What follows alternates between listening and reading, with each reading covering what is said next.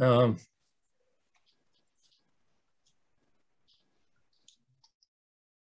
okay, so um, just got to move that. Thanks very much again. Sorry for the little technical glitch there. Um, so the Library of Congress uh, has a definition of um, ethnographic maps. What are ethnographic maps? And um, I'm not going to read that, but um, typically uh, when it comes to ethnographic maps, there are maps that show cultural areas and then maps that also show uh, just linguistic uh, groupings.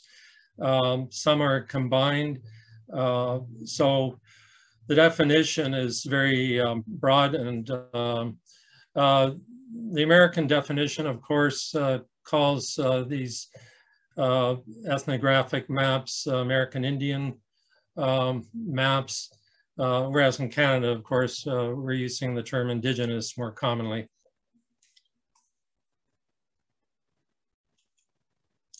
So this is a map uh, showing, um, well, one of the first maps of the interior of British Columbia showing cultural groupings uh, by Archibald MacDonald. He was a factor for the Hudson's Bay Company and sketched this map in 1827.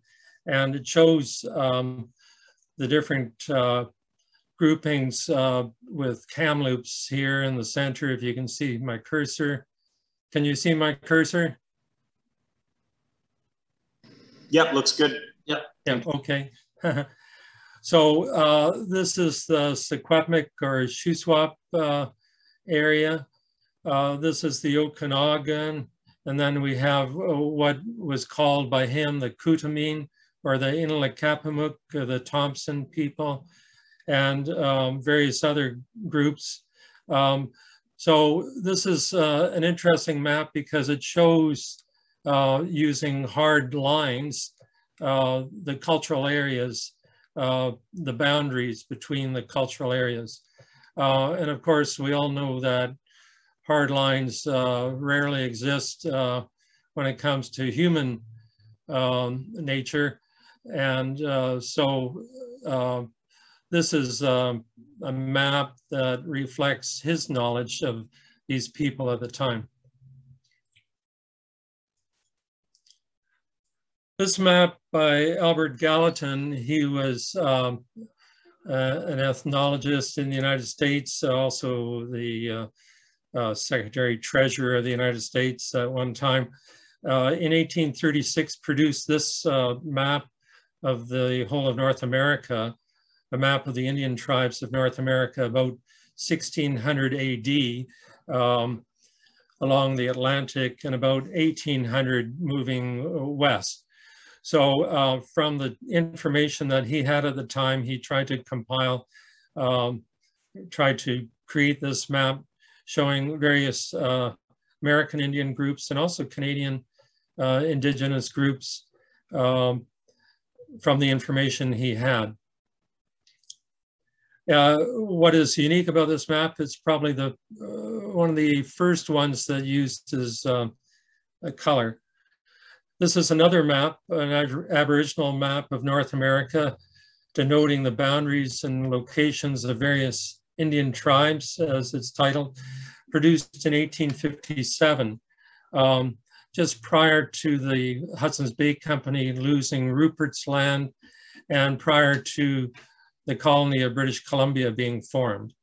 And again, uh, color, um, there's no hard boundaries shown, but the colors act as boundaries. Um, it's quite a, an attractive map. I'm going to show you a close-up now. Uh, a part of the map that shows the names of some of the First Nations. Uh, the Blackfoot is uh, seen here and the Blood and Fall Indians uh, all part of the Sioux or Dakota uh, grouping. Here, um, we don't have color. Oops. Can we go back, um, Thomas? Is it possible to yeah. go back? I, it's on a timer, unfortunately. Uh, can you stop the timer? There's a timer? Yeah, there's a timer and that uh, moves it ahead. Uh, I just wanted to mention that here the Shuswap for Secwepemc as they are called today. Uh, but notice the, the color is, um, well, I don't know if this is a light purple shade representing the interior peoples, but the Shuswap are not related to uh, the people uh, known as the Dakel Indians uh, farther north.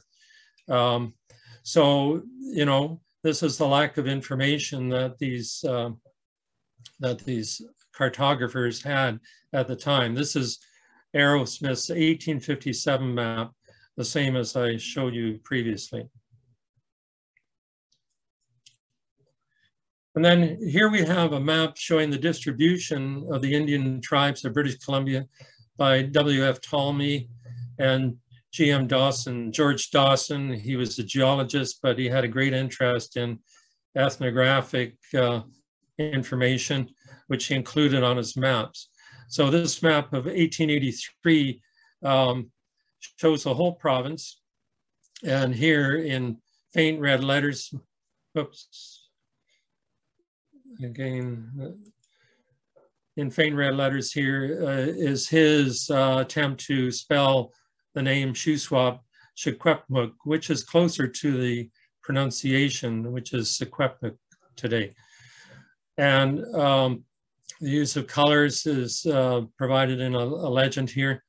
Uh, it's uh, quite an interesting map. It uses a, a topographic base map and then uh, imposes the, the areas of the uh, First Nations groupings. This map also by Dawson um, shows uh, very clearly uh, the tribal territories, again, using a hard line uh, between the different nations. This is the Shuswap or Secwepemc as he spelled it, the Okanagan, the Inalakapamuk who I mentioned. And um, the detail is, is quite good. I mean, it's, it's uh, very close to the approximation of uh, these First Nations territories today. Um, the Arrow Lakes is shown here, and um, I'll mention this area a little more. Can the, uh, your record, sorry, your presentation has a timer on it. You would just need to change the settings and, you know, exit the presentation. So let's just not do that. Maybe once yeah. it changes too soon, just click on your back or sorry, your left yeah. arrow on your keyboard. Uh, that, that's that's what I'm doing. Okay. Yeah. Thanks. Uh, thank you. Thanks. Um, along comes a gentleman named James Teit, and this is his wife, uh, Lucy Antko. Um, they married about 1892. He was a Scotsman uh, who came over to work on his uh, uncle's farm, but he quickly became interested in the native peoples and um, lived with Antko and learned how to speak in Lekapamuk um, and learned a lot about the culture from her. This photo was taken by Harlan Smith, uh, archaeologist who, who came to the area around this time, 1897. Now, I, mention him because the next map is made by him. Um, this is another map showing the Shuswap or Secwepemc territory by this bold black line and the surrounding First Nations, the Carrier, the Cree, the Stoney, the Kootenai, the Okanagan. Here's the Thompson or Inalakapamuk, Lillooet, and Chilcotin. Here's Kamloops. And um, within the Secwepemc territory, he created divisions uh, that he uh, recognized uh, between the Secwepemc, there are variations in dialects and um, uh, kinship affinities. So he shows that uh, that's what these letters are all about. Oops. Let me go back to that.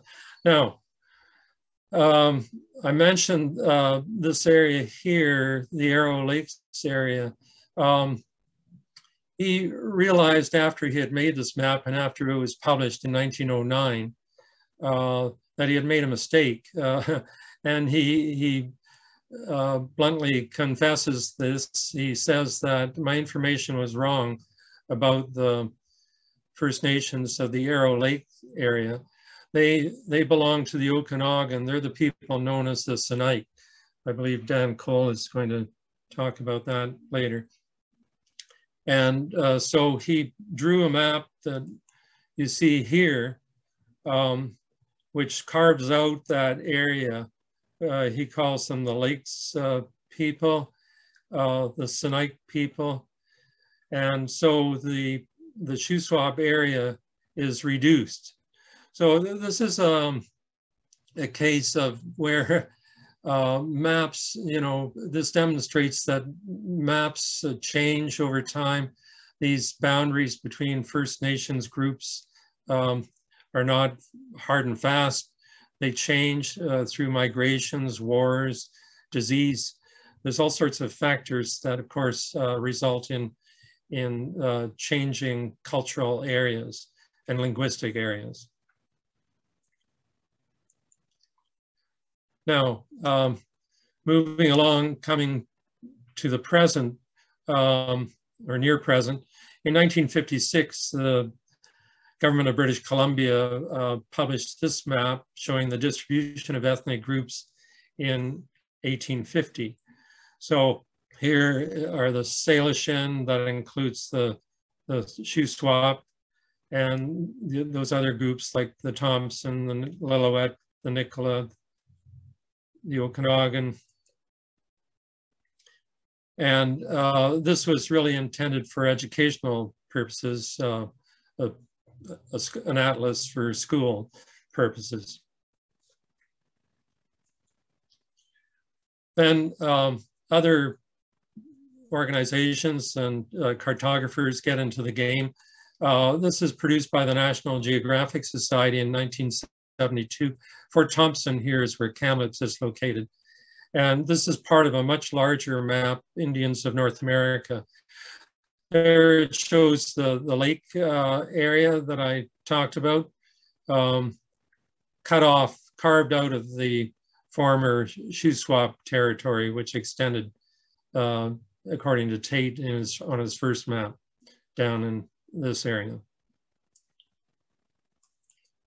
Uh, I was hesitant to show this map because of the poor quality, I'm sorry, of the resolution, but it's an important map that uh, needed to be shown.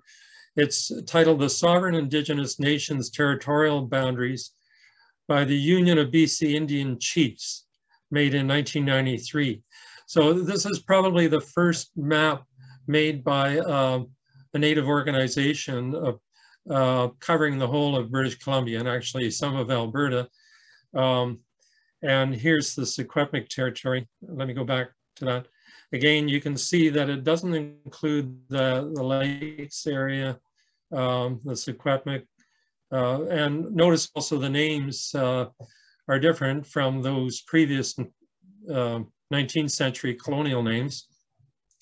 Uh, Secwepemc is the is the name they call themselves. It, it actually means uh, spread out people or scattered people. And so this is a map produced by um, a First Nations organization, the Union of BC Indian Chiefs. Um, it has some flaws and uh, unfortunately, uh, they contacted various First Nations groups for input and not all of those groups uh, replied. So uh, the map uh, sort of fell out of favor, you might say, um, but other newer maps have, have, been produced. But one map that uh, uh, sort of comes at the same time as that Union of BC Indian Chiefs map is the map of treaties being negotiated in British Columbia. And uh, I'm not showing you the full map here, but um, you can see that there are boundaries that uh, denote the territorial um, areas uh, agreed to by these First Nations. Now, some of them um, don't uh, butt to one another. In other words, there's uh, unceded territory as uh, territory is, here.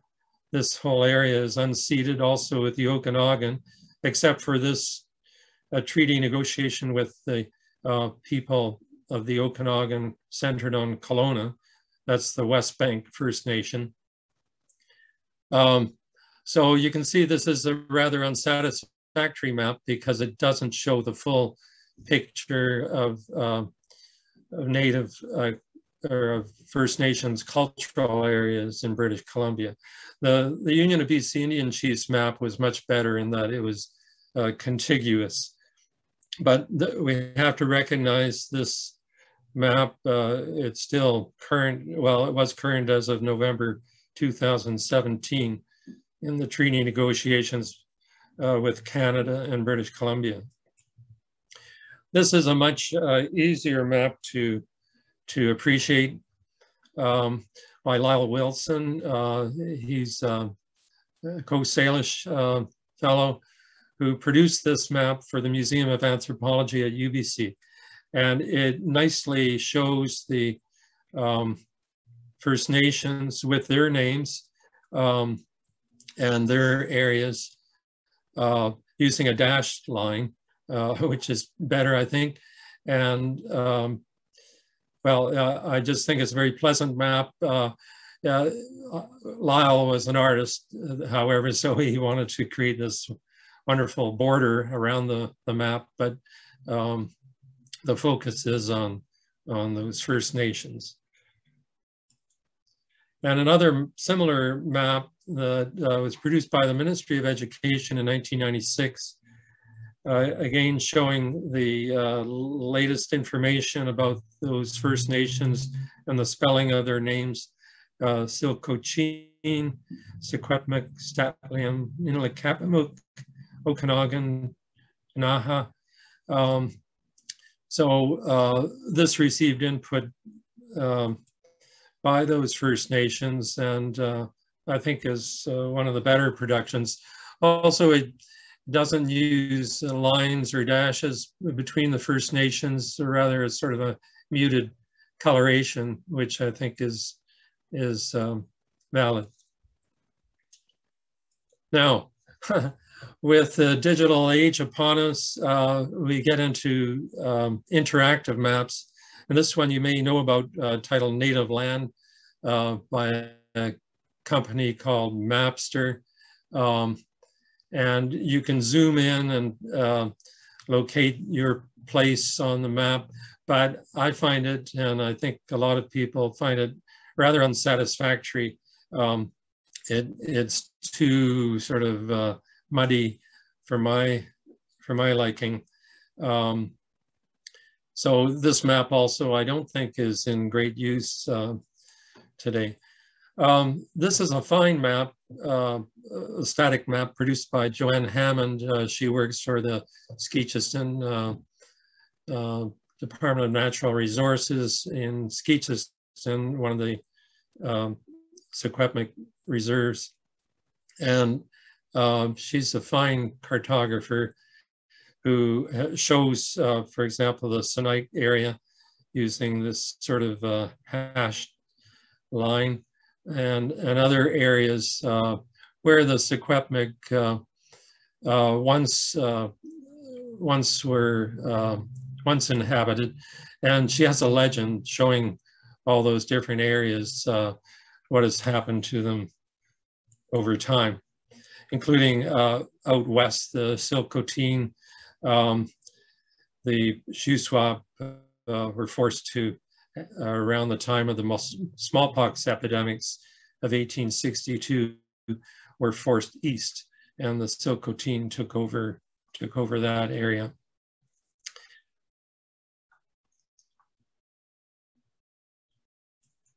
Then um, I want to mention this wonderful map produced by Margaret Pearce here. Uh, she's a Potawatomi citizen. Um, she works uh, or worked at the Canadian Center, American Center at the University of Maine um, in 1917 and um, produced this map, which is laden with indigenous names. It's, it's all indigenous. And she contacted many of these um, First Nations across the country for their input.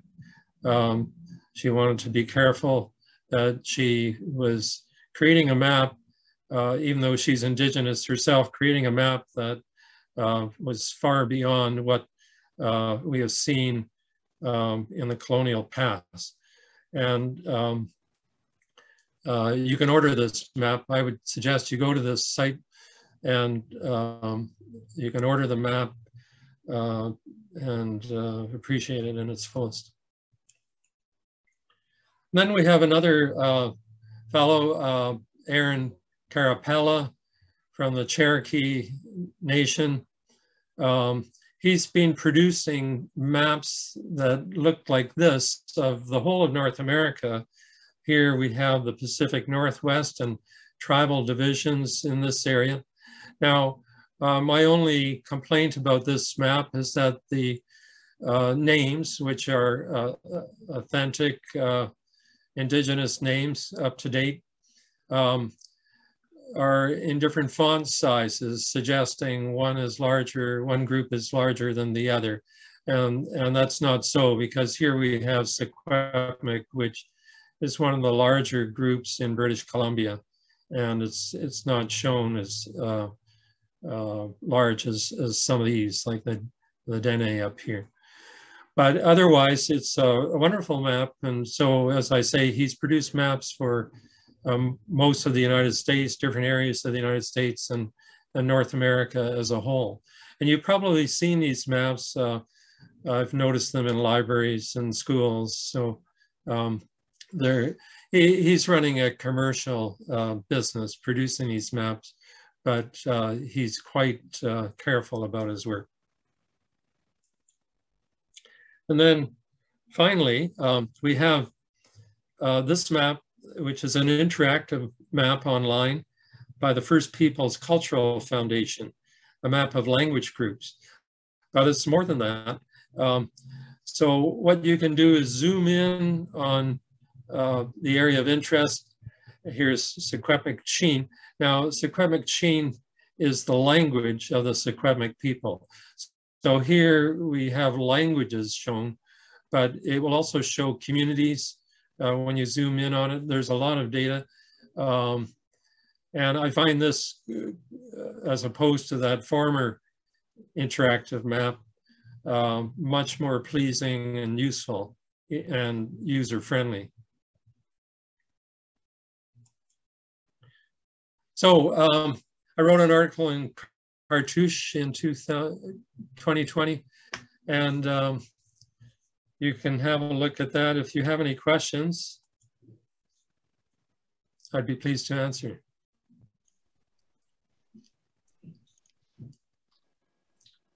Thanks, Ken. Um, I left in the chat uh, a little message to everyone, our participants. Uh, you can leave any questions here in the chat and we can read them to our presenters. Great presentation, Ken. Thank you. Thank you.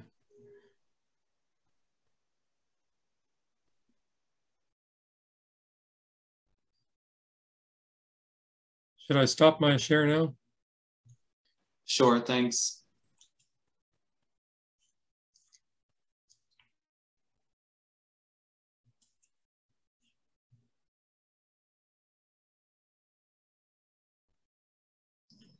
Ken, I have a quick question. Yes. Um, have you come across the map by uh, Alexander Caulfield Anderson, um, who, who was not only a cartographer, I believe, for the Hudson Bay Company, but um, then used one of his maps to try to highlight the different um, tribal groups that he encountered along the way using a, his own sort of um, orthography. So that was one of the maps I was thinking of. And then the second one, if you could speak to, um, was the work of um, A.G. Morice, uh, Father A.G. Morice of the Oblates. Um, could you speak to a couple of those uh, cartographers? Uh, yes, absolutely. Um, I'm familiar uh, with A.C. Anderson and his map, and it's a wonderful map. And I didn't show it. Um, I did have a, a, digital copy of it, uh, but it's so detailed, it's hard, uh, hard to read. Unless you have very high resolution. Uh, so I didn't include that. But yes, uh, I don't know about the second uh, map you mentioned that he did. Uh, on the first map, his 1867 map, he does show indigenous nations and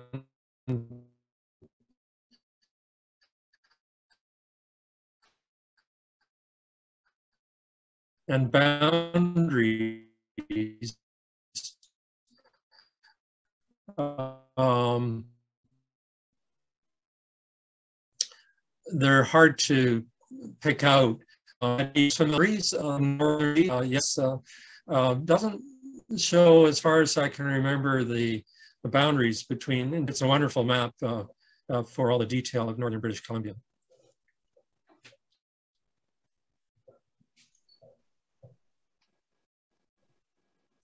Thanks, Ken.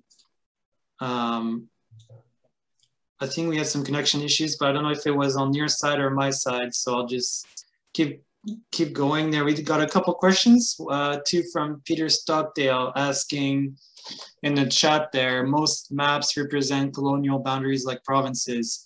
How can mapping be used for decolonization? How do you deal with inter-indigenous competition for territory? Uh, well, that's hard to answer. Um, I know that uh, most of those maps, including the modern maps, uh, you know, use uh, modern base maps, for example, of British Columbia, um, to then show the indigenous nations. And um, I think that that works um, for the most part. Um, as for, um, I showed you the map of the treaty uh, process, uh, which includes um, a lot of unceded territory.